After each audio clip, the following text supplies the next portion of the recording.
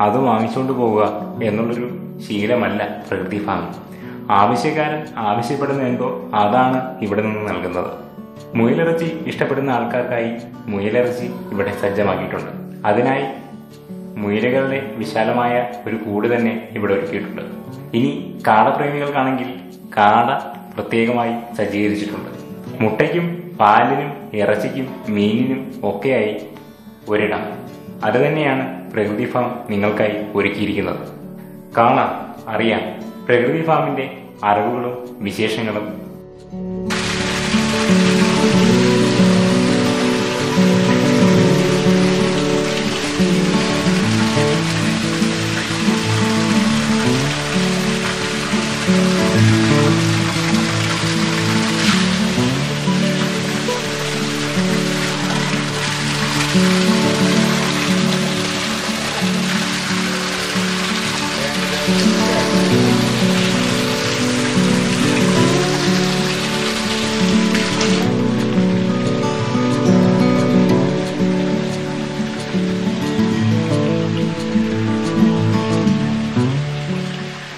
നമസ്കാരം. എന്റെ പേര് സുരേഷ് കുമാർ ഇവിടെ നാട്ടിൽ എല്ലാവരും അറിയപ്പെടുന്ന പേര് മംഗളൻ എന്നാണ്. എന്റെ അച്ഛന്റെ പേര് കരവാരം വാസുദേവൻ എന്നാണ്. ഞാനിവിടെ പ്രകൃതി അസോസിയേഷൻ എന്ന രീതിയിലൊരു സ്ഥാപനവും മത്സ്യ മത്സ്യം വളർത്തി വിൽക്കുന്ന ഒരു സ്ഥാപനവും അതിനോടൊപ്പം ഫാംകോ ചിക്കൻ സെന്റർ എന്ന പേരിൽ ഇറച്ചി കോഴി വളർത്തി വെട്ടി വിൽക്കുന്ന സ്ഥാപനവും നടത്തുന്നു. അതിനോടൊപ്പം എനിക്ക് അതിൽ കരിങ്കോഴി കാട കാടക്കോഴി കാടമുട്ട ഇങ്ങനെയുള്ള മുയൽ ഇങ്ങനെയുള്ള ബിസിനസ്സുകളും ആട് ഇതെല്ലാം ഇതിനോടൊപ്പം ഉണ്ട്. അപ്പോൾ ഇതെല്ലാം വളരെ നല്ല രീതിയിൽ ഭംഗിയായിട്ട് ഇപ്പോഴും വരെ നടത്തിക്കൊണ്ടിരിക്കുന്നുണ്ട്. പക്ഷേ ഇതിൽ വേറൊരു കാര്യം പ്രത്യേകിച്ച് ഇതിൽ തുടക്കക്കാരൊക്കെ അറിഞ്ഞിരിക്കേണ്ട ഒരു കാര്യമുണ്ട്. എന്താണെന്ന് വെച്ചാൽ നമുക്ക് പഞ്ചായത്തിൽ നിന്ന് കൃഷിഭവനിൽ നിന്നും ഫിഷറീസിൽ നിന്നും ഇതിനൊക്കെ സകല ആനുകൂല്യങ്ങളും കിട്ടണമെങ്കിലും കിട്ടിയാലേ നമുക്കിത് നല്ല രീതിയിൽ ചെയ്യാൻ പറ്റും. അപ്പോൾ അതിന് അത് ആദ്യം ഉറപ്പ് വരുത്തണം. കിട്ടുമോ ഇല്ലയോ എന്ന്. അത് ഞാൻ ഇപ്പോൾ പറയാൻ കാരണം എന്ന് പറഞ്ഞാൽ എനിക്ക് എല്ലാത്തിനും എല്ലാവിധ നല്ല സഹായവും സഹകരണവും കിട്ടിയിട്ടില്ല. അതുകൊണ്ടാണ് ഞാനിതിപ്പോൾ ഇങ്ങനെ പറയുന്നത്. എന്റെ ഇപ്പോഴത്തെ അവസ്ഥയിൽ അതായത് ഇത് പ്രത്യേകിച്ച് പറയാൻ കാരണം മത്സ്യം വളർത്തുന്നവർക്ക് യഥേഷ്ടം വെള്ളം ലഭ്യമാണ്. അങ്ങനെയുള്ള സ്ഥലത്ത് മാത്രമേ മത്സ്യകൃഷി നടത്താവൂ. ഇല്ലെങ്കിൽ ചൂട് കാലങ്ങളിൽ വെള്ളമില്ലാതെ വന്ന് മത്സ്യങ്ങളൊക്കെ ചത്തുപോകും അതുപോലെ ഒരവസ്ഥയാണ് ഇപ്പോൾ എനിക്കുള്ളത്. ഞാൻ വളർത്തുന്ന മത്സ്യങ്ങൾ വെള്ളം കുറവായതുകൊണ്ട് ചിലതൊക്കെ ചത്തു തുടങ്ങി. അങ്ങനെ അതിനെ രക്ഷപ്പെടുത്തുന്നതിന് വേണ്ടിയിട്ട് ഞാനൊരു കുഴൽ കണ്ട അടിക്കാനായിട്ട് ശ്രമിച്ചു. പഞ്ചായത്തിന്റെ ഭാഗത്ത് നിന്ന് കൃഷിഭവന്റെ ഭാഗത്തൊക്കെ നിന്ന് നമുക്ക് നല്ല സഹകരണം കിട്ടിയാൽ മാത്രമേ നമുക്ക് നല്ല രീതിയിൽ വിജയിപ്പിച്ച് നല്ല ആദായം ഉണ്ടാക്കാൻ പറ്റും. അപ്പോൾ കൃഷിമാനിൽ നിന്ന് അവർ എല്ലാ സഹായങ്ങളും ചെയ്യുന്നുണ്ട്. അതിൽ യാതൊരു ഒരു വിട്ടുവീഴ്ചയില്ല. അവരെല്ലാ സഹായങ്ങളും നല്ല രീതിയിൽ നമുക്ക് ചെയ്തു തരുന്നുണ്ട്. പക്ഷേ നമ്മളുടെ പഞ്ചായത്ത് തിരുവനന്തപുരം ജില്ലയിൽ തിരഞ്ഞെടുക്കപ്പെട്ട നാല് പഞ്ചായത്തുകളിൽ വെച്ച് ഒന്നാം നമ്പർ പഞ്ചായത്താണ് കരവാരം. ഈ കരവാരം പഞ്ചായത്തിൽ കരവാരം പഞ്ചായത്ത് ഓഫീസിന് അടുത്തായിട്ട് ഗുരുമന്ദിരം എന്ന് പറയുന്ന സ്ഥലത്താണ് ഈ സ്ഥാപനം. അവിടെ കരവാരം പഞ്ചായത്തിലെ ഏറ്റവും വലിയ കർഷകൻ. അതായത് മീൻ വളർത്തുന്നതിൽ ഏറ്റവും വലിയ ഈ നല്ല രീതിയിൽ എക്കോപോണിക്സ് ചെയ്ത് വളർത്തുന്ന വേറൊരു സ്ഥാപനം ഇല്ല. ഏറ്റവും വലിയ കർഷകൻ ഞാൻ തന്നെയാണ്. പക്ഷേ എനിക്കിപ്പോൾ വെള്ളം കിട്ടാതെ മീനുകൾ ചത്തുകൊണ്ടിരിക്കുന്നു അത് കാരണം ഞാനൊരു കുഴൽ കിണർ അടിക്കാൻ ശ്രമിച്ചപ്പോഴേ ഞങ്ങളുടെ പഞ്ചായത്ത് ആറും മെമ്പർമാരും ഒക്കെ കൂടെ നിന്ന് ആളിനെ കൂടെ വിളിച്ചുകൊണ്ട് വന്ന് ഇത് തടഞ്ഞു. അങ്ങനെ വെള്ളം കിട്ടാത്തൊരവസ്ഥയിലാണ്. ഏകദേശം പന്ത്രണ്ടായിരത്തി പന്ത്രണ്ടായിരം മത്സ്യക്കുഞ്ഞുങ്ങൾക്ക് മുകളിൽ ഈ രണ്ട് പോണ്ടിലായിട്ട് എനിക്ക് ഉണ്ട്. ഇപ്പോൾ അതെല്ലാം ചത്തുകൊണ്ട് ചത്തു തുടങ്ങിയിട്ടുണ്ട്. അപ്പോൾ അങ്ങനെയുള്ള ഒരു അവസ്ഥ വരാതെ മുന്നോട്ടുള്ള ചെയ്യുന്ന പുതിയ പുതിയ കർഷകർ ശ്രദ്ധിക്കണം. അങ്ങനെ വന്നാൽ നിങ്ങൾക്ക് വലിയ വലിയ ലക്ഷങ്ങളുടെ നഷ്ടങ്ങളുണ്ടാവും.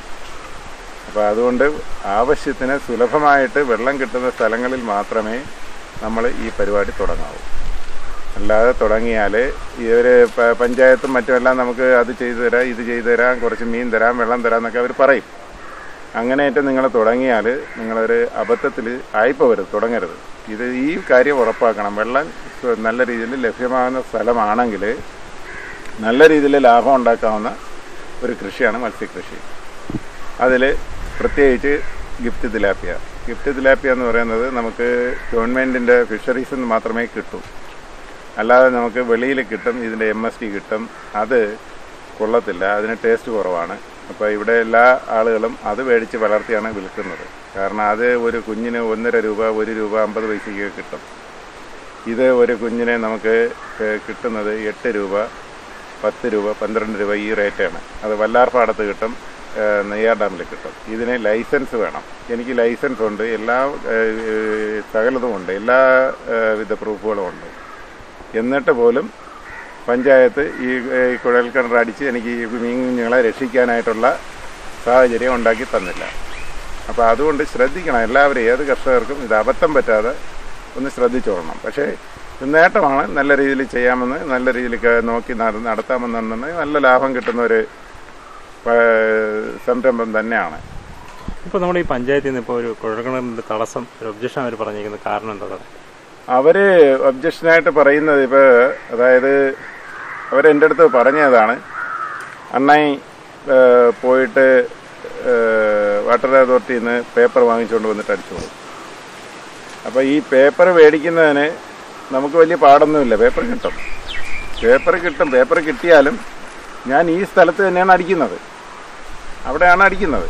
അപ്പോൾ അവർ വന്ന് ടെസ്റ്റ് ചെയ്ത് ആ സ്ഥലം എനിക്ക് കാണിച്ചു തരും. അവിടെയാണ് അടിക്കുന്നത്. അപ്പോൾ പേപ്പറിന്റെ ഒരു പേര് മാത്രമേ അവർ പറയുന്നതാണ്. അല്ലാതെ പേപ്പർ പേരിന് വേണ്ടിയിട്ടാണ്. അപ്പോൾ പേപ്പർ കൊണ്ടുവന്നാൽ ഞാൻ ഇപ്പോൾ സ്ഥലം മാറ്റാൻ പോകുന്നില്ലല്ലോ. അപ്പോൾ ആ സ്ഥലത്തല്ലേ അടിക്കുന്നത്. എനിക്ക് അത്രയും പറമ്പുണ്ട്. അവിടെ ഒരു ശല്യവും ഇല്ലാത്ത അതിന്റെ ഈ ഞാൻ ബോർവെൽ അടിക്കുന്നതിന് ആയിട്ട് ശ്രമിച്ചതിന്റെ നൂറ് മീറ്റർ അപ്പുറത്ത് നൂറ് ഏകദേശം നൂറ് മീറ്റർ അപ്പുറത്ത് ഒരു അണ്ടി ഓഫീസുണ്ട്. അതിനകത്ത് ഈ ഇവരെല്ലാം കൂടെ സംരക്ഷണയിൽ അവിടെ ബോർവെൽ അടിച്ചു. അതിൽ നിന്ന് വെള്ളം എടുക്കുന്നുണ്ട്. ആ ഏരിയയിലുള്ള നമുക്ക് ആർക്കും ഒരു പ്രശ്നവുമില്ല വെള്ള വെള്ളത്തിന്റെ ലഭ്യത കുറവ് അങ്ങനെ ഒന്നുമില്ല. പക്ഷേ ഇവിടെ ഒരു അടിക്കാൻ സംഭവിക്കില്ല. അതുകൊണ്ട് എനിക്കിത് വൻ നഷ്ടത്തിൽ ആണ് ഇപ്പോൾ പോകാൻ പോകുന്നത്. ഇതിനിപ്പോൾ നമുക്കൊരു ബദൽ സംവിധാനമായിട്ട് എന്തെങ്കിലും ബദൽ സംവിധാനമായിട്ട് നമുക്ക് വേറെ ഇതിനൊന്നും ചെയ്യാൻ പറ്റാത്ത പറ്റില്ല. കാരണം എന്ന് പറഞ്ഞാൽ ടാങ്കറിൽ വെള്ളം കൊണ്ടുവന്ന് അടിക്കാൻ പറ്റില്ല. ടാങ്കറിൽ വെള്ളം കൊണ്ടുവന്ന് അടിച്ചാൽ നമ്മൾ ഒരുമിച്ച് വെള്ളം കൊണ്ടുവന്ന് മാറുമ്പോൾ അതിന്റെ പി എച്ച് മാറും. വെള്ളം കൊണ്ടുവന്ന് ഒഴിക്കുമ്പോൾ അപ്പോഴാ സ്പോട്ടിൽ മീൻ ചാവും. അപ്പോൾ അതുകൊണ്ട് അത് ചെയ്യാൻ പറ്റില്ല. ഈ ഒരുപാട് കാര്യങ്ങൾ പഠിക്കാനുണ്ട്. പഠിച്ചതിന് ശേഷം മാത്രമേ ഏതെങ്കിലും കർഷകർ ഇതിലേക്ക് തിരിയാവൂ. ഇല്ലെന്നുണ്ടെന്നുണ്ടെങ്കിൽ പരാജയമായിരിക്കും. കയ്യിലിരിക്കുന്ന കാശ് പോകും നമ്മളിപ്പോൾ എത്ര വർഷമായി സാർ ഈ ഒരു മേഖല മൂന്ന് വർഷമായി. മൂന്ന് വർഷമായി. എന്തായാലും നമ്മുടെ ഒരു പ്രചോദനം? അല്ല ഇതിൽ എനിക്ക് ആദ്യം ഒരുപാട് നഷ്ടങ്ങൾ തന്നെയാണ്. വന്നത്. അപ്പോൾ ഇതിനെപ്പറ്റി പഠിക്കുന്നതിനും മറ്റുമൊക്കെ ആയിട്ട് ഇങ്ങനെ ഒരുപാട് ഞാൻ പഠിക്കുകയും പഠിക്കുകയൊക്കെ ചെയ്തു. അങ്ങനെ ഇപ്പോൾ പഠിച്ച് അത് നല്ലൊരു ലാഭവശത്തോട്ട് വന്നതാണ്. പക്ഷേ ഇപ്പോഴെനിക്ക് ഈ വെള്ളത്തിന്റെ ലഭ്യത കുറവ് കാരണം ഇതിപ്പോൾ വൻ നഷ്ടം വരാൻ പോകുന്നു. അപ്പോൾ അതിനെ നമുക്ക് മറ്റ് പരിഹാരമാർഗം ഒന്നുമില്ല. കിണറിലെ വെള്ളം തന്നെ കിട്ടുകയും വേണം. അത് കുറേച്ചേ കുറേച്ചേ അടിച്ചത് ഫില്ല് ചെയ്യുകയും വേണം. എങ്കിൽ മാത്രമേ ഇതിനെ രക്ഷിക്കാൻ കഴിയൂ. അപ്പോൾ അതേപോലെ തന്നെ ഇതിൽ ഇതിന്റെ ബെഡിൽ ഇഷ്ടംപോലെ പച്ചക്കറികളുണ്ടായിരുന്നു. അതായത് ഈ മീനിന്റെ വേസ്റ്റ് അതായത് ശരിക്കും വിഷരഹിത പച്ചക്കറി. ഈ മീനിന്റെ വെള്ളം അടിച്ച് ഫിൽറ്ററിൽ വീണു അത് മെറ്റലിൽ വീണു അതിൽ നിന്ന് ഫിൽറ്റ് ചെയ്ത് ആ മെറ്റലിൽ ഈ മെറ്റലിൽ വീണ് അതിൽ നിന്ന് ഫിൽറ്റ് ചെയ്തിട്ട് തിരിച്ച് പോണ്ടിൽ വീഴുന്നു. അപ്പോൾ ഈ വെള്ളത്തിൽ വരുന്ന മീനിന്റെ കാഷ്ടം അതായത് വേസ്റ്റ് ഇതെല്ലാം ഈ മെറ്റലിൽ തടഞ്ഞ് അതിൽ ഞങ്ങൾ ചെടികൾ നട്ടു കൊടുക്കും ഏത് ചെടി ശരിക്കും ഇഷ്ടം പോലെ നല്ല രീതിയിലുള്ള കായ്ഫലം കിട്ടും. പച്ചമുളക് മുതൽ തടിയങ്ക വരെയുള്ള എല്ലാ പച്ചക്കറികളും ഇവിടെ പിടിച്ചു ഇഷ്ടം പോലെ ഞാൻ വിൽക്കുകയും ചെയ്തു. അപ്പോൾ അത് ആ രീതിയിൽ ആയിരുന്ന കാരണം ഇവരുടെയൊക്കെ സഹകരണ കുറവുകൊണ്ട് പഞ്ചായത്തിന്റെ മറ്റൊരു സഹകരണ കുറവുകൊണ്ട് ഞാനത് നിർത്തി. ഇപ്പം ഇനിയിപ്പോൾ ഈ കണക്കിനായതുകൊണ്ട് ഇവർ വെള്ളം പോലും ഇത് കണക്ക് തടഞ്ഞതുകൊണ്ട് ഇനിയിപ്പോൾ ഈ മുന്നോട്ട് പോകാനുള്ള വലിയ ബുദ്ധിമുട്ടാണ്. വെള്ളം എല്ലാം പോ- എന്തായാലും പറ്റില്ല അങ്ങനെ വരുമ്പോഴത്തേക്ക് ഇതെല്ലാ ഇതും നമുക്ക് നഷ്ടപ്പെടും. അത് ഇതിൽ വേദനാജനകമായ കാര്യം എന്ന് പറയുന്നത് ഈ എ ഗ്രേഡായിട്ട് തിരഞ്ഞെടുത്തിരിക്കുന്ന പഞ്ചായത്തിൽ നമുക്ക് കൃഷിക്കാർക്ക് കിട്ടാത്ത സപ്പോർട്ട് നല്ല സപ്പോർട്ട് കിട്ടിയിരുന്നുണ്ടെങ്കിൽ ഏകദേശം നല്ല രീതിയിലുള്ള ഈ ഈ ഈ ഏരിയയിലുള്ള എല്ലാവർക്കും കിട്ടത്തക്ക രീതിയിലുള്ള പച്ചക്കറിയും മത്സ്യവും ഈ സ്ഥാപനത്തിൽ കൂടി തന്നെ കിട്ടുമായിരുന്നു. പക്ഷെ അതിനുള്ള സാഹചര്യം അവരുണ്ടാക്കി തരുന്നില്ല. ഇപ്പോൾ നമ്മൾ മത്സ്യക്കുറിച്ച് മത്സ്യക്കുഞ്ഞുങ്ങളെ തിരഞ്ഞെടുക്കുമ്പോൾ നമ്മൾ ശ്രദ്ധിക്കേണ്ട കാര്യങ്ങൾ എന്തൊക്കെയാണ് സാർ മത്സ്യക്കുഞ്ഞുങ്ങളെ തിരഞ്ഞെടുക്കാൻ നമ്മൾ ഗിഫ്റ്റ് തിലാപ്പിയാണ് ഏറ്റവും ബെസ്റ്റ് അത് ഇത് നമ്മൾ ഇത് ടാർപ്പയിൽ അതായത് അക്വപോണിക്സ് ചെയ്യുന്നതിലോ ടാർപ്പ കുളങ്ങളിലോ ആണെന്നുണ്ടെങ്കിൽ ഏറ്റവും വളർത്തിയെടുക്കുന്നതിന് നല്ലതും പെട്ടെന്ന് ലാഭം ഉണ്ടാകുന്നതും പെട്ടെന്ന് വളരുന്നതും ഈ ഗിഫ്റ്റ് തിലാപ്പിയാണ്. പിന്നെ മറ്റുള്ള മീനുകളെന്ന് പറഞ്ഞു കഴിഞ്ഞാൽ വളർത്തുകയാണെങ്കിൽ അതിൽ ലാഭം കൂടുതൽ ഉണ്ടാകും. ഈ പറഞ്ഞ കണക്ക് ഒഴുക്ക് വെള്ളമായിരിക്കണം. നാച്ചുറൽ പോണ്ടാണെന്നുണ്ടെന്നുണ്ടെങ്കിൽ മറ്റുള്ള മീനുകൾ കട്ട്ല രോഹു ഇങ്ങനെയൊക്കെയുള്ള പല പല മീനുകളുണ്ട്. അത് വളർത്തുന്നതിനാണെന്ന് വെച്ച് കഴിഞ്ഞാൽ നല്ല രീതിയിൽ വളരും പെട്ടെന്ന് കാശ് നല്ല രീതിയിൽ കാശ് ഉണ്ടാക്കാനും പറ്റും. പക്ഷേ അതിൽ ഉള്ളതെന്ന് പറയുന്നത് ഒഴുക്ക് വെള്ളമായിരിക്കണം. അത് ഈ ഗിഫ്റ്റ് തിലാപ്പി തന്നെയും ഒഴുക്ക് വെള്ളത്തിലാണെന്ന് വെച്ച് കഴിഞ്ഞാൽ മൂന്ന് മാസം കൊണ്ട് അത് അഞ്ഞൂറ് ഗ്രാം അറുന്നൂറ് ഗ്രാമൊക്കെ ആകും അത്ര നല്ല രീതിയിൽ വളർച്ച നമുക്കിപ്പോൾ എത്ര ഗ്രോത്ത് കിട്ടുന്നുണ്ട്? എനിക്ക് എനിക്ക് ലാസ്റ്റ് കിട്ടിയെന്ന് പറയുന്നത് തൊള്ളായിരത്തി നാൽപ്പത് ഗ്രാമിന്റെ മീൻ വരെ എനിക്ക് കിട്ടിയിട്ടുണ്ട്. അതെന്ന് പറയുന്നത് അത് അതെന്ന് പറയാൻ എട്ട് മാസം അതിൽ കിടന്നു. അത് കുറച്ചെണ്ണം മാത്രമേ അത് അങ്ങനെ കിടന്ന് കിട്ടിയത്. പക്ഷേ ഇനി ഞാൻ വിറ്റ് തുടങ്ങിയെന്ന് പറയുന്നത് മുന്നൂറ് ഗ്രാം തൊട്ട് ഇരുന്നൂറ്റമ്പത് മുന്നൂറ് ഗ്രാം തൊട്ട് ഞാൻ ഈ ഇത് വിറ്റ് തുടങ്ങി. അങ്ങനെ വിൽക്കുകയാണെന്നുണ്ടെന്നുണ്ടെങ്കിൽ ഈ മൂന്ന് മാസം ആകുമ്പോഴത്തേക്ക് ഇതെല്ലാം വലുതായി തുടങ്ങും. ആ സമയം തൊട്ട് നമുക്ക് വിറ്റ് തുടങ്ങാം. വിളവെടുപ്പ് തുടങ്ങാം. അത് ഈ നല്ല രീതിയിൽ നല്ല സാഹചര്യം ഒത്ത് കിട്ടണം. പക്ഷെ അതിന് ഏറ്റവും മെയിനായിട്ട് ഇതിന് എപ്പോഴും പറയാനുള്ള ഇതേ വെള്ളം മെയിനായിട്ട് കിട്ടണം. അത് കഴിഞ്ഞിട്ട് ഈ വെള്ളം ടെസ്റ്റ് ചെയ്യുകയും വേണം. ഇപ്പോൾ ഗിഫ്റ്റ് തെറാപ്പിയുടെ നമ്മൾ രണ്ട് തരത്തിലുള്ള കുഞ്ഞുങ്ങളെ കുറിച്ച് നമ്മൾ പറഞ്ഞല്ലോ. ഒന്ന് നമ്മുടെ ഗവൺമെന്റ് ഫാം വഴി കിട്ടുന്നത് ഈ രണ്ട് കുഞ്ഞുങ്ങളെ ഇപ്പോൾ നമുക്ക് കണ്ടു കഴിഞ്ഞാൽ എന്തെങ്കിലും അറിയാൻ പറ്റില്ല. അറിയാൻ പറ്റില്ല. പക്ഷേ നമ്മൾ ആ കുഞ്ഞുങ്ങൾ ഗിറ്റ് തിലാപ്പിയുടെ ഗിറ്റ് എന്ന് പറയാൻ പ്രസവിക്കില്ല. പിന്നെ എം എസ് ഡി എന്ന് പറയാൻ പ്രസവിച്ചു കൂട്ടും. അപ്പൊ അപ്പോൾ ആ ഗിഫ്റ്റിന് ഗിഫ്റ്റിന് അതായത് ശരിക്കും ഈ എം എസ് ഡി പോലുള്ള മീനുകളെ പ്രസവിക്കാതെ ആക്കി ഫിഷറീസാർ നമുക്ക് തരയാണ് അത് പ്രസവിക്കില്ല. അതിൽ ആണും പെണ്ണുമായിട്ട് തിരിഞ്ഞല്ല തര ഉള്ളത്. എല്ലാം അവരാണാക്കിയാണ് തരുന്നത്. അതേസമയം എം എസ് ഡി മേടിച്ച് ഇടണമെന്നുണ്ടെന്നുണ്ടെങ്കിൽ മൂന്ന് മാസം കഴിയുമ്പോഴത്തേക്ക് ഇത് ബ്രീഡായിട്ട് കുഞ്ഞുങ്ങൾ പ്രസവിക്കും. പ്രസവിച്ച് കുഞ്ഞുങ്ങൾ പറ്റി പരുവും. മീനിനെ മീൻ ക്ലോത്തിൽ ഇപ്പോൾ കോഴി വേസ്റ്റ് ഇട്ട് കൊടുക്കുന്നതിന്റെ ഒരു ഇത് പറഞ്ഞു കേട്ടിട്ടുണ്ട് എന്താണ് എങ്ങനെയാണ്? കോഴി വേസ്റ്റ് ഇട്ട് കൊടുക്കുക എന്ന് പറയുന്നത് ഇപ്പം എന്നെ സംബന്ധിച്ച് എനിക്ക് അവിടെ ഒരു സ്ഥാപനം ഉള്ളതുകൊണ്ട് കാണുന്ന പലരും ഇങ്ങനെ ധരിക്കും. ഇത് കോഴി വേസ്റ്റ് കൊടുത്ത് വളർത്തുന്ന മീനായിരിക്കാം എന്നൊക്കെ ഇങ്ങനെ ധരിക്കും. ഒരു ലക്ഷത്തി അറുപതിനായിരം ലിറ്റർ വെള്ളമാണ് ഇതിൽ കൊള്ളുന്നത്. അപ്പോൾ ഇതിനകത്ത് ഈ വളർത്തുന്ന മീനുകൾക്ക് ഫിഷ് ഫുഡ് അതിന് ഗ്രോവൽ കമ്പനിയുടെ ഞാൻ കൊടുക്കുന്ന ഗ്രോവൽ കമ്പനിയുടെ ഫുഡാണ് അത് എന്റെ മീനുകൾ മേടിച്ച് തിന്നവരെല്ലാവരും നല്ല ടേസ്റ്റ് എന്ന് പറയുന്നുണ്ട്. ഭയങ്കര ടേസ്റ്റ് എന്ന് പറഞ്ഞുകൊണ്ടാണ് അവർ വീണ്ടും വീണ്ടും പല ദൂര സ്ഥലങ്ങളിൽ നിന്ന് വന്നു വരെ മേടിക്കുന്നുണ്ട്. അതിനകത്ത് ഈ കോഴി വേസ്റ്റോ മറ്റെന്തെങ്കിലും വേസ്റ്റുകൾ ഇട്ടാൽ ഈ വെള്ളം കേടാവും. വെള്ളം കേടായാൽ മൂന്ന് ദിവസം മാത്രമേ ഈ വെള്ളം പിന്നെ കിടക്കൂ. അല്ലെങ്കിൽ മീനുകൾ ചത്തുപോകും. അപ്പോൾ അങ്ങനെ ഒരു വേസ്റ്റുകളും ഇതിലിടാൻ പറ്റില്ല ഒരു ലക്ഷത്തി അറുപതിനായിരം ലിറ്റർ വെള്ളം അടിച്ച് നിറയ്ക്കണം എന്ന് പറഞ്ഞു കഴിഞ്ഞാൽ മാസങ്ങളെടുക്കും നിറഞ്ഞു വരണമെങ്കിൽ. ഏ? അതുകൊണ്ട് ഒരു കാരണവശാലും ഈ കോഴി വേസ്റ്റുകളൊന്നും ഇതിലിടാൻ പറ്റൂല. ഇട്ട് കഴിഞ്ഞാൽ അത് അതോടുകൂടി തീരും.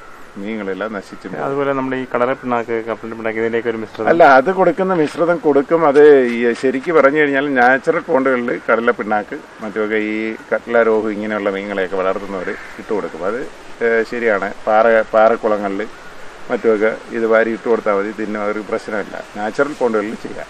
അല്ലാതെ ടാർപ്പ് കുളത്തിൽ പറ്റില്ല. അക്വപോണിക്സിൽ തീരെ പറ്റില്ല. അക്വപോണിക്സിൽ ഫിഷ് ഫുഡ് അല്ലാതെ പറ്റില്ല. അത് ഒരു ചാക്കിന് ആയിരത്തി എഴുന്നൂറ് രൂപ ആയിരത്തി എണ്ണൂറ് രൂപ വിലയാണ്. ഈ നമുക്കിപ്പോൾ ഒരു ഇപ്പോൾ നമ്മുടെ ഒരു ടാങ്ക് നമ്മൾ സജ്ജീകരിച്ചിരിക്കുന്നത് എങ്ങനെയാണ്? എത്ര അടി അകലം എത്ര അടി ആഴം? അതിന് ഏറ്റവും കുറഞ്ഞ നമ്മളുടെ ഫിഷറീസിന്റെ കണക്ക് വെച്ചിട്ട് പതിമൂന്ന് മീറ്റർ നീളം വേണം. മൂന്ന് മീറ്റർ വീതി വേണം. എത്ര കുഞ്ഞുങ്ങൾക്കാണ്? അത് അയ്യായിരം കുഞ്ഞുങ്ങൾ. അയ്യായിരം കുഞ്ഞുങ്ങൾക്ക് അതെ. അപ്പോൾ അത് ആ നീളം ആണ് ഫിഷറീസ് നമുക്ക് തരുന്ന അളവ്. പക്ഷേ നമുക്ക് നമ്മളുടെ പറമ്പിൽ എത്ര ഉണ്ടോ അത്രയും നീളം കൂടാം കുറയരുത്. നീളവും വീതിയും കൂടാം. എത്രയും നീളം വീതിയും കൂടുമോ അത്രത്തോളം വളർച്ച കിട്ടും. നമുക്കിപ്പോൾ അതേ അകലത്തിലുള്ള ഇപ്പം നമുക്ക് എത്ര പോണ്ടുണ്ട്? എനിക്ക് രണ്ട് പോണ്ടുണ്ട്. രണ്ട് പോണ്ടുണ്ട്. ഇതിൽ നമുക്കിപ്പോൾ ഒരു പോണ്ട് സജ്ജീകരിക്കാൻ വേണ്ടി നമുക്ക് എത്ര രൂപ എക്സ്പെൻസ് വരും? എക്സ്പെൻസ് പറയുകയാണെന്നുണ്ടെന്നുണ്ടെങ്കിൽ നമുക്ക് ഇപ്പൊ ഞാൻ ആ ചെയ്തിരിക്കുന്ന എല്ലാം എനിക്ക് പതിമൂന്ന് ലക്ഷം രൂപ ആയി. രണ്ട് പോണ്ടും കൂടെ. രണ്ട് പോണ്ട് ബെഡ് ഫിൽട്രേഷൻ ഇത് എയറേഷൻ ഇതെല്ലാം കൂടി പതിമൂന്ന് ലക്ഷം രൂപ എനിക്ക് ചിലവായിട്ടുണ്ട്. പക്ഷേ നമുക്ക് സബ്സിഡി ഒന്നും അത്ര കിട്ടില്ല. ആറ് ലക്ഷം രൂപയുടെ നാൽപ്പത് ശതമാനമാണ് സബ്സിഡി ആയിട്ട് കിട്ടുന്നത് അല്ലാതെ ബാക്കി കാശ് കംപ്ലീറ്റ് ഞങ്ങൾ കംപ്ലീറ്റ്. അതിപ്പോൾ ഈ ഗവൺമെന്റിന്റെ നിയമം അനുസരിച്ച് നമ്മൾ അൻപത് ലക്ഷം രൂപ ചിലവാക്കിയാലും നമുക്ക് ഈ ആറ് ലക്ഷത്തിന് രൂപയെ അലോഡുള്ളൂ. ഒരു കർഷകന് ആറ് ലക്ഷം രൂപയെ അലോഡുള്ള. ഓരോ സ്കീമിനും ഒരേ റേറ്റ് ഇതാണ്. അപ്പോൾ ആ ഒരു റേഞ്ച് ഇതിന്റെ റേറ്റ് അതായിരുന്നു. അപ്പോൾ ഈ സ്കീമിൽ ആറ് ലക്ഷം രൂപ കിട്ടൂ. ആറ് ലക്ഷം രൂപ കിട്ടിയാൽ ആറ് ലക്ഷം രൂപയുടെ സബ്സിഡി നാൽപ്പത് ശതമാനം സബ്സിഡിയായി കിട്ടും. സബ്സിഡിയായി കിട്ടും. അതായത് ഒരു കർഷകൻ ആറ് ലക്ഷം രൂപ മുടക്കി കഴിഞ്ഞാൽ ആറ് ലക്ഷം രൂപയുടെ നാൽപ്പത് ശതമാനം. നാൽപ്പത് ശതമാനം നാൽപ്പത് ശതമാനം കിട്ടും. ഇനി അയാൾ ഒരു എട്ട് ലക്ഷം രൂപ മുടക്കുകയാണെങ്കിലും ആറ് ലക്ഷം രൂപയുടെ നാൽപ്പത് ശതമാനം മാത്രമേ കിട്ടും. എട്ടല്ല എൺപത് മുടക്കിയാലും ആറ് ലക്ഷം രൂപയുടെ നാൽപ്പത് ശതമാനം കിട്ടും. കിട്ടത്തുള്ളൂ. കിട്ടത്തുള്ളൂ. ബാക്കി പൈസ നമ്മൾ ഇത് മീനെ വിറ്റ് മുതലാക്കി അതിന് ഈ പറഞ്ഞാണ് വീണ്ടും ഞാൻ ഒന്നുകൂടി ആവർത്തിക്കുന്നു. വെള്ളം. വെള്ളം. വെള്ളം സുലഭമായിട്ട് കിട്ടണം. അതിന് ഇനി ഏത് തലം വരെ പോയാലും അത് ക്ലിയർ ചെയ്ത് കിട്ടിയാൽ മാത്രമേ നേട്ടം നമ്മളൊരു ഉണ്ടാക്കാൻ കഴിയൂ. മൂന്ന് വർഷത്തിലേറെയായിട്ടുള്ള നമ്മളൊരു പരിചയം അനുഭവ സമ്പത്ത് ഇത് വെച്ചിട്ട് നമ്മളൊരു തുടക്കം മുതലുള്ള ഒരു കാര്യങ്ങൾ ഞങ്ങൾ ആദ്യം കുളം സജ്ജീകരിക്കുന്നു മീൻ കുഞ്ഞുങ്ങളെ കൊണ്ടുവരുന്നു. അതായത് തുടക്കം മുതൽ എന്ന് പറഞ്ഞു കഴിഞ്ഞാൽ ഇത് ജെ സി ബിക്കാണ് കുഴിച്ചത്. അതെ. ജെ സി ബിക്ക് കുഴിച്ചിട്ട് പോയപ്പോൾ ആളിനെ നിർത്തി ഇതെല്ലാം ചീവിയൊക്കെ ഒതുക്കി ലെവൽ ചെയ്ത് അതിനുശേഷം അതിന്റെ അടിയിൽ ഫ്ലെക്സ് ഫ്ലെക്സ് വിരിച്ച് ഫ്ലക്സിന് മുകളിൽ സ്പോഞ്ച് വിരിച്ച് സ്പോഞ്ചിന്റെ മുകളിൽ ടാർപ്പയാണ് വിരിച്ചിരിക്കുന്നത്. ആ രീതിയിലാണ്. അതായത് അടിയിൽ നിന്ന് എന്തെങ്കിലും ഒരു വേരോ നാരോ ഈ ടാർപ്പയിൽ വന്ന് കൊള്ളരുത്. കൊള്ളാതിരിക്കാനായിട്ട് അടിവശം നമ്മൾ ആ രീതിയിലെല്ലാം ക്ലിയർ ചെയ്തതിന് ശേഷമാണ് അതിന്റെ മേലെ ടാർപ്പയിട്ടേക്കുന്നത് അല്ലാതെ കുറുക്ക് വഴിയിലൊക്കെ ചെയ്യാൻ പറ്റും. ഇപ്പോൾ പലരും ചെയ്യും. ചാക്കുകളൊക്കെ വാരി നിരത്തിയും പ്ലാസ്റ്റിക് ചാക്കോ ചണച്ചാക്കോ ഒക്കെ നിരത്തി ചെയ്യും. പക്ഷേ ചണച്ചാക്ക് ഇട്ട് കഴിഞ്ഞാൽ ചെതൽ പെട്ടെന്ന് കയറും. അത് നശിച്ചു പോകും. അത് നശിച്ച് പോയി കഴിഞ്ഞ് കഴിഞ്ഞാൽ നേരെ അടുത്ത ടാർപ്പയിലേക്ക് പിടിക്കും. പ്ലാസ്റ്റിക് ചാട്ട് ചാക്ക് ഇട്ട് കഴിഞ്ഞാൽ ഒരു വർഷം കഴിയുമ്പോഴത്തേക്ക് പ്ലാസ്റ്റിക് ചാക്ക് പൊടിഞ്ഞു പോകും. അപ്പോൾ അതും അത് നല്ലൊരു ഇതല്ല. അങ്ങനെ വല്ല തീരുമാനങ്ങൾ ആരെങ്കിലും എടുക്കുകയാണെങ്കിൽ അത് നല്ല തീരുമാനമല്ല അത് എനിക്ക് അനുഭവമുണ്ട്. അത് ചാക്ക് പൊടിഞ്ഞു പോകും. അതുകൊണ്ട് അങ്ങനെയൊന്നും ആരും ചെയ്യരുത്. ചെയ്യുകയാണെന്നുണ്ടെന്നുണ്ടെങ്കിൽ ഈ രീതിയിൽ ചെയ്താൽ എത്ര വർഷം വേണമെങ്കിലും അത് കിടക്കും. അപ്പോൾ അതിന്റെ നീളം വീതി ഇങ്ങനെയൊക്കെ ഉണ്ട്. അതിന് ഹൈറ്റ് ഉണ്ട്. ഒരു ഒരു- ലക്ഷ നൂറ്റി അറുപത് സെന്റിമീറ്റർ. അതായത് ഒന്നര ഒന്നറുപത്. ഇത്രയും ഹൈറ്റ് ആകാവും. അതിൽ കൂടുതൽ ഹൈറ്റ് ആകാൻ പാടില്ല. കൂടുതൽ താഴ്ച വരുംതോറും മീന് ഏറെ കിട്ടാതെ വരും. അപ്പോൾ അത് ചത്തുപോകും അതിന് വളർച്ച കുറയും ഇങ്ങനെയുള്ള പ്രശ്നങ്ങളൊക്കെ ഉണ്ടാവും. അപ്പോൾ ഒന്നര മീറ്റർ ഒന്ന് അറുപത് ഹൈറ്റ് ഇത്രേ ആകാവൂ. നീളവും വീതി എത്ര വേണോ നമുക്ക് ഇഷ്ടം പോലെ ചെയ്യാം. അതിന് പ്രത്യേക കണക്കൊന്നുമില്ല. പക്ഷേ നിങ്ങൾ ഒരു സ്കീമിൽ ചെയ്യുകയാണെന്നുണ്ടെങ്കിൽ അതിന് ഫിഷറീസിന്റെ അവിടുത്തെ നമുക്കിപ്പോൾ കോർഡിനേറ്റർമാരുണ്ട് നമ്മുടെ ഈ ഹൈറ്റ് ഇതിൽ നമുക്ക് കുറയുന്നുണ്ട് എന്തെങ്കിലും കുഴപ്പമുണ്ടോ? കുറയുന്നതിൽ കുഴപ്പം ഇല്ലാതില്ല. പക്ഷേ അത് ഹൈറ്റ് അത്രയും ഉണ്ടെങ്കിലേ അവർക്ക് അതിന്റെതായ വളർച്ചകളും ഓക്സിജനും എല്ലാം കിട്ടത്തുള്ളൂ. അതിൽ കൂടുതൽ താഴ്ന്നു പോയാലും പറ്റില്ല. അപ്പോൾ അത് ഫിഷറീസ് നമുക്ക് തരുന്ന നിർദ്ദേശമാണ് നിർദ്ദേശമാണത്. അപ്പോൾ ആ രീതിയിൽ വേണം അതിനെ നമ്മൾ കാണുന്നതിനും കാണാനും ചെയ്യാനും. നമ്മളിപ്പോൾ ഏകദേശം ഒരു മത്സ്യക്കുഞ്ഞിനെ കൊണ്ടുവന്നു കഴിഞ്ഞാൽ നമ്മൾ എത്ര നാൾ കഴിയുമ്പോൾ അതിന്റെ ഒരു വിളവെടുപ്പ്? മൂന്ന് മാസം കഴിഞ്ഞാൽ നമുക്ക് വിറ്റ് തുടങ്ങാൻ ശരിക്കും ആറ് മാസമാണ് അതിന്റെ പൂർണ വളർച്ച എന്ന് പറയുന്നത്. അതെ. അതെ. നമ്മൾ നല്ല രീതിയിൽ നോക്കിയാൽ ഇപ്പം എന്നെ സംബന്ധിച്ച് ഇത് അറിയേണ്ട കർഷകർക്ക് മെയിനായിട്ട് അറിയേണ്ട ഒരു കാര്യം എന്ന് പറഞ്ഞു കഴിഞ്ഞാൽ ഈ തീറ്റ ലാഭിക്കുന്നതിന് വേണ്ടിയിട്ട് നമുക്ക് അസോള വളർത്തി അസോള ഒരു ടൈമിൽ അസോള കൊടുക്കണം ഒരു ടൈമിൽ തീറ്റ കൊടുക്കണം. ഈ അസോള കൊടുക്കുന്ന മീന് നല്ല ടേസ്റ്റാണ്. നമ്മൾ വിചാരിക്കാത്ത രീതിയിലുള്ള ടേസ്റ്റാണ്. അപ്പോൾ അങ്ങനെയാണ് ഇവിടെ നിന്ന് വാങ്ങിക്കൊണ്ട് പോകുന്ന മീനുകൾക്ക് എല്ലാത്തിനും ടേസ്റ്റ് കൂടുതൽ ടേസ്റ്റ് കൂടുതലെന്ന് പറഞ്ഞ് എല്ലാവരും പറയുന്നതും വന്ന് വാങ്ങുന്നത്. ശരിക്കും അതിന്റെ സത്യാവസ്ഥ അതാണ്. ഒരു നേരം ഞാൻ അസോളയാണ് കൊടുക്കുന്നത്. അപ്പോൾ അങ്ങനെ അസോള സെറ്റ് ചെയ്യാനുള്ള സൗകര്യം ഉള്ളവർ അടുത്തൊരു ചെറിയ പോണ്ടോ അല്ലെങ്കിൽ അല്ലെങ്കിൽ ഈ എക്കോപോണിക്സ് ചെയ്യുന്നവരാണെങ്കിൽ പിന്നെ അതിൽ അതിൽ തന്നെയാണ് ഞാൻ ആസോള വളർത്തുന്നത്. അപ്പോൾ ആ രീതിയിൽ ചെയ്യാമെന്നുണ്ടെന്നുണ്ടെങ്കിൽ വൻ ലാഭം കൊയ്യാം. കാരണം എന്ന് പറഞ്ഞാൽ തീറ്റയുടെ പകുതി പൈസ ഒരു നേരം തീറ്റയും ഒരു നേരം അസോളയായിട്ട് കൊടുത്ത് നമുക്ക് ലാഭം ഉണ്ടാക്കാം. ഇതിലിപ്പോൾ നമ്മളൊരു മീൻ കുഞ്ഞിനെ ഇട്ടതിന് ശേഷം നമ്മളൊരു മൂന്നാം മാസം മുതൽ നമ്മൾ വിളവെടുപ്പ് തുടങ്ങുന്നതാണോ? അതായത് നമ്മൾ ആറ് മാസം കഴിഞ്ഞ് വെയിറ്റ് ചെയ്തതിന് ശേഷം ആറാം മാസം തൊട്ട് ആറ് മാസം പൂർത്തിയായതിനു ശേഷം ഏതായിരിക്കും നമുക്ക് സാമ്പത്തികമായിട്ട് നമുക്ക് സാമ്പത്തികമായിട്ട് നോക്കുകയാണെന്നുണ്ടെന്നുണ്ടെങ്കിൽ കുറച്ച് സാവധാനം വന്നിട്ട് ഒരു അഞ്ച് മാസം കഴിഞ്ഞിട്ട് ബൾക്കായിട്ട് ഇത് കൊടുക്കണം. ഒരുമിച്ച്. ഒരുമിച്ച്. കൊടുക്കുകയാണെങ്കിൽ അതിൽ കുറച്ച് കൂടുതൽ പൈസ ഒരുമിച്ച് കിട്ടും. അങ്ങനെ ലാഭമാണ് ഉണ്ടാവുക. അതേസമയം നമുക്ക് കുറേച്ചേ വിൽക്കാനുള്ള പരിപാടിയാണെങ്കിൽ എനിക്കിപ്പോൾ ഈ ഒരു സ്ഥാപനം ഉള്ളതുകൊണ്ട് ഞാൻ എല്ലാ ഭാഗത്തുള്ള ഇവിടെയുള്ള ഈ ഏകദേശം ഒരു പത്ത് കിലോമീറ്ററിന് ചുറ്റളവിലുള്ള ആളുകൾ വന്ന് മേടിക്കുന്നുണ്ട്. അറിയാവുന്നവർ അതെ പലരും വർക്കല ഭാഗങ്ങളിൽ നിന്നും ആറ്റിങ്ങൽ ഭാഗങ്ങളിൽ നിന്നും കിളിമാനൂർ ഭാഗത്ത് നിന്നൊക്കെ ഇപ്പോഴും വരുന്നുണ്ട്. വന്ന് മേടിക്കുന്നുണ്ട്. അപ്പോൾ എനിക്കിത് ചില്ലറ വിറ്റ് പോകുകയാണെന്നുണ്ടെങ്കിൽ കാശ് കൂടുതൽ കിട്ടും. പക്ഷേ അതിൽ ഉള്ള ബുദ്ധിമുട്ടെന്ന് പറയുന്നത് ഈ ഒരുമിച്ച് ഇത് എല്ലാം തീർത്തും കൊണ്ട് അടുത്ത പുതിയ കുഞ്ഞുങ്ങളെ നമുക്ക് ഇടാൻ പറ്റൂല. ഇത് പോണ്ട് കാലിയായതിനു ശേഷമല്ലേ പറ്റത്തുള്ളൂ. അപ്പോൾ അതിന് വേണ്ടിയിട്ട് ടൈം എടുക്കും. പക്ഷേ കാശ് കൂടുതൽ കിട്ടും. അതെന്ന് പറഞ്ഞു കഴിഞ്ഞാൽ ഇപ്പോൾ ഒരു കിലോയ്ക്ക് ഇരുന്നൂറ് രൂപയ്ക്കാണ് ഞാൻ ആദ്യം ഇങ്ങനെ കൊടുത്തത്. ഇരുന്നൂറ് രൂപ ഇരുന്നൂറ്റമ്പത് രൂപയ്ക്ക് ഉണ്ടായിരുന്നു.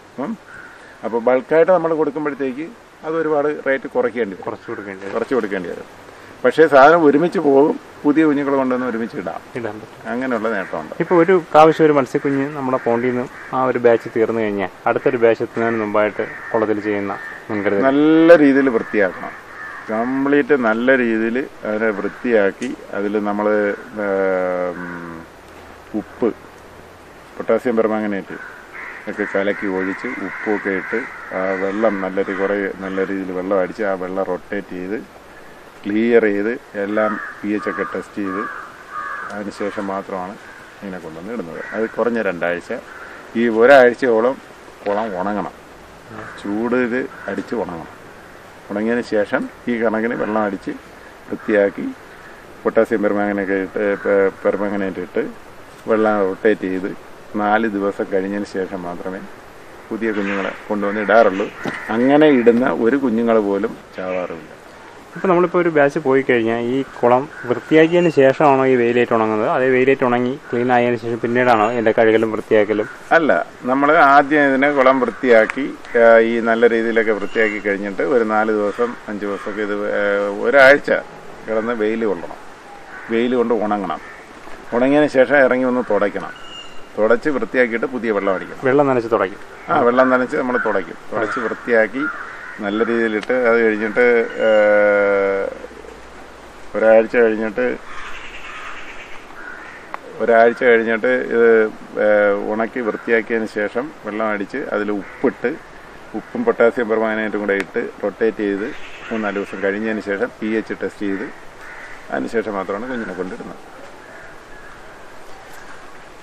പുതുതായിട്ടൊരു കുഞ്ഞിനെ നമ്മൾ മത്സ്യക്കുളത്തിലോട്ട് ഇടുമ്പം ഇങ്ങനെയാണ് അതിന്റെ ഒരു പുതിയതായിട്ട് കുഞ്ഞിനെ കൊണ്ടുവരുന്നത് നമ്മൾ ഞാൻ പല രീതിയിലുള്ള ഇപ്പം ഏത് രീതിയിലായാലും കവറിനകത്താണ് കുഞ്ഞിനെ വരുന്നത്. കുഞ്ഞ് വരുന്നത്. പ്ലാസ്റ്റിക് കവറിനകത്താണ്. ഞാൻ ഇപ്പോൾ വെള്ളാർപ്പാടത്തു നിന്നാണ് എടുത്തത്. അവിടെ നിന്ന് എനിക്ക് കവർ രണ്ട് കവർ ഇത് ഇട്ട് തന്നു. രണ്ട് കവർ ഇത് ഇട്ട് തന്നത് ഭയങ്കര സേഫ്റ്റി ആയിരുന്നു. കുഞ്ഞുങ്ങൾക്കൊന്നും ഒരു പ്രശ്നം വരില്ല. അപ്പോൾ ഈ രണ്ട് കവറിട്ട് കൊണ്ടുവന്ന കുഞ്ഞിനെ ഞാനിവിടെ കൊണ്ടുവന്ന്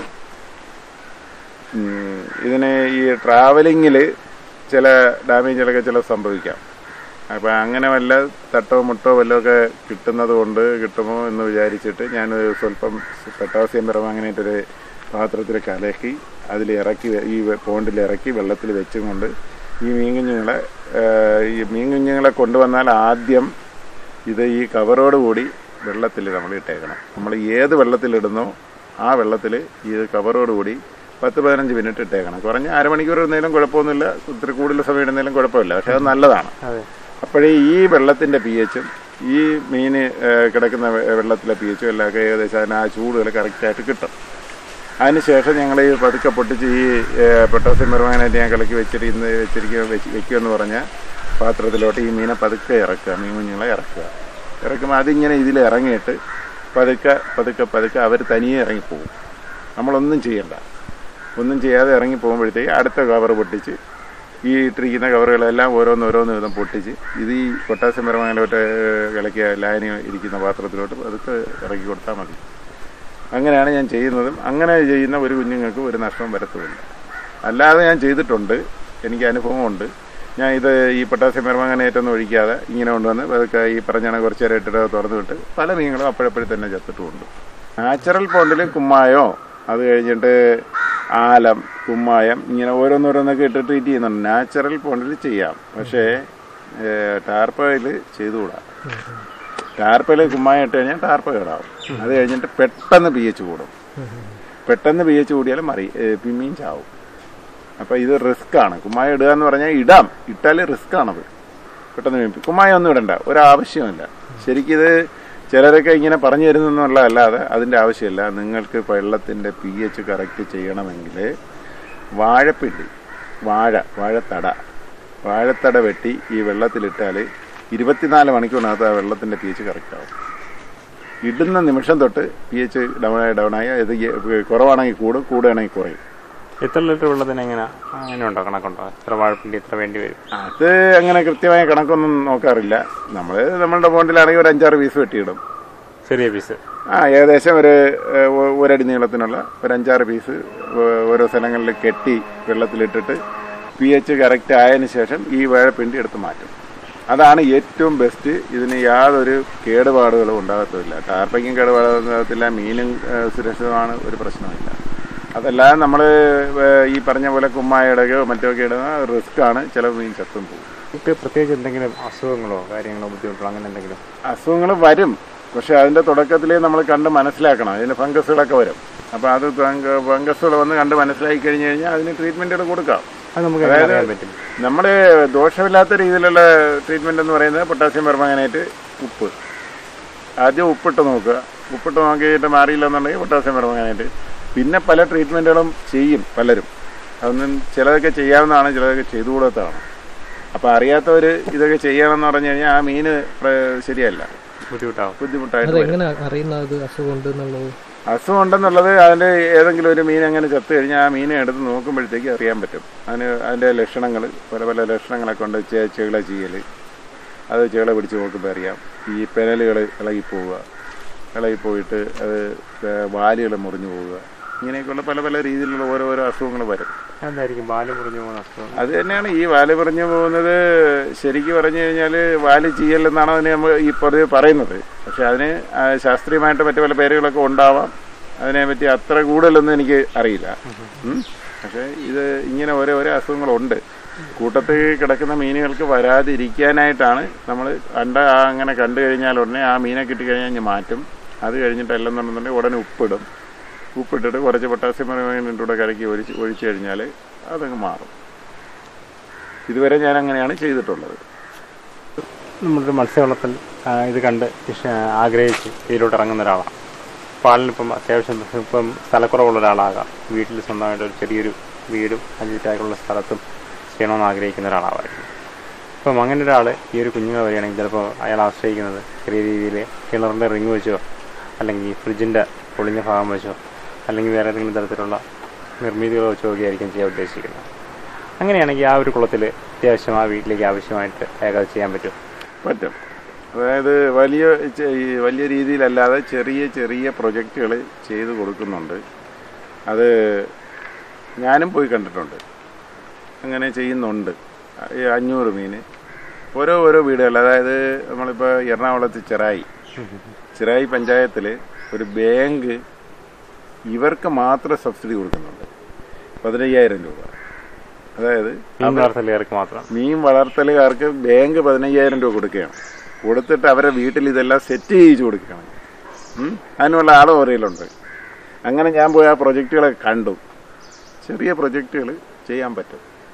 വലിയ ചിലവില്ലാതെ ചെയ്യാൻ പറ്റും. അത് ഇതിന്റെ എയറേഷൻ അങ്ങനെയുള്ള എല്ലാ രീതിയിലുമുള്ള മീന് വേണ്ടുന്ന സകലതും ചെയ്തു കൊടുക്കുന്നുണ്ട്. അതേസമയം ഇതില്ലാതെയൊക്കെ ചെയ്യുക എന്ന് പറഞ്ഞു കഴിഞ്ഞാൽ റിസ്ക് ആണ് എയറേഷനും കാര്യങ്ങളൊക്കെ ഇല്ല എന്നുണ്ടെന്നുണ്ടെങ്കിൽ മീൻ വളർച്ച കുറയും ചത്തുപോകും ഇങ്ങനെയൊക്കെ വരും. അതുകൊണ്ട് നമുക്ക് ഏറേഷന്റെ കാര്യം പറയുകയാണെങ്കിൽ പലരും പേടിക്കുന്ന ഒരു കറണ്ട് ചാർജ് കറണ്ടിന്റെ ഒരു ബുദ്ധിമുട്ട് ചെയ്യുകയാണ് ഈ എയറേഷൻ അങ്ങനെ ഒത്തിരി എയറേഷൻ എന്ന് പറഞ്ഞു കഴിഞ്ഞാൽ അത് എയറേഷൻ കൊടുത്തേ പറ്റൂ. എങ്കിലേ മീൻ വളരത്തുള്ളൂ. അപ്പോൾ എയറേഷൻ എയർ പമ്പുകൾ അത് പല വിലയ്ക്കുണ്ട്. അൻപത് രൂപ തൊട്ട് ഞാൻ വെച്ചിരിക്കുന്ന പമ്പ് ഒരു പമ്പിന് ഏഴായിരം രൂപ അപ്പോൾ അങ്ങനെ കൂടുതലായിട്ട് കൂടുതലായിട്ട് വേണ്ടുന്നവർക്ക് അതിനൊക്കെ രീതിയിലുള്ള വില ഉണ്ടാവും നമുക്കിപ്പോ ഈ ഒരു ലക്ഷത്തി അറുപതിനായിരം ലിറ്റർ വെള്ളം. ഈ വെള്ളത്തിലേക്ക് നമുക്കിപ്പോൾ ഏകദേശം വേണ്ടിയിട്ട് എത്ര പമ്പ് വേണ്ടി വരും? മൂന്ന് പമ്പുണ്ട്. ഏഴായിരം രൂപയുടെ മൂന്ന് പമ്പ്. ഏഴായിരം രൂപയുടെ മൂന്ന് പമ്പുണ്ട്. ഒന്ന് സ്പെയർ ആണ്. രണ്ടെണ്ണം കണ്ടിന്യൂ വർക്ക് ചെയ്തു അതെ. അത് ആ രീതിയിലുള്ള നല്ല എയറേഷൻ കിട്ടിയേ പറ്റൂ. ഇല്ലെന്നുണ്ടെന്നുണ്ടെങ്കിൽ മീൻ ചാവും. നമ്മുടെ ഫിൽറ്ററിംഗ് ഒക്കെ എങ്ങനെയാണ് ഇപ്പോൾ ചെയ്തേക്കുന്നത് ഫിൽറ്ററിംഗ് ഇപ്പം ചെയ്തിരിക്കുന്നത് കക്കൈ നെറ്റുമാണ് ആദ്യം ഇത് വീഴുന്നത് ഒരു നെറ്റുള്ള നെറ്റ് വെച്ചിരിക്കുന്ന പാത്രത്തിൽ വീഴും അത് അതിൽ നിന്ന് അടുത്ത നെറ്റ് വെച്ചിരിക്കുന്ന പാത്രത്തിലോട്ട് പോകും. ബാരലിലോട്ട്. അപ്പോൾ ഈ ബാരലിൽ വീണിട്ട് അത് പിന്നീട് അടുത്ത കക്ക നിറച്ചിരിക്കുന്ന ബാരലിൽ ചെന്ന് വീണ്. അതിൽ നിന്നാണ് ഫിൽട്ടറായി ഈ ബെഡുകളിൽ വീഴുന്നത്. അപ്പോൾ കക്ക വയ്ക്കുമ്പോഴത്തേക്ക് ഇതിന് വേണ്ടുന്ന കാൽസ്യം ഇങ്ങനെയുള്ള ഓരോ ഓരോ ഘടകങ്ങൾ ഇതിനകത്ത് ബാക്ടീരിയകൾ എല്ലാം ഒളിച്ചിരിക്കും. ആ ബാക്ടീരിയകൾ അടക്കം മീനെ വേണ്ടുന്ന ഘടകങ്ങളെല്ലാം ഇതിനകത്തുണ്ടാവും. അങ്ങനെ അതുണ്ടായി അതിൽ നിന്ന് വരുന്ന വെള്ളം കിട്ടുന്നത് കൊണ്ടാണ് മീന് പെട്ടെന്ന് വളർച്ച ഉണ്ടാകുന്നതും അസുഖങ്ങളൊന്നും ഉണ്ടാകാതിരിക്കുന്നതും.